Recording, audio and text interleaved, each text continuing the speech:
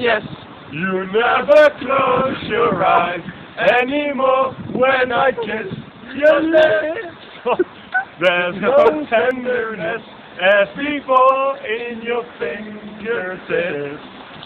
You try hard not to show it, but baby, baby, you know you've lost that love and feeling. Beautiful. Whoa, that love and feeling. You've lost that love and feeling. Oh, it's gone,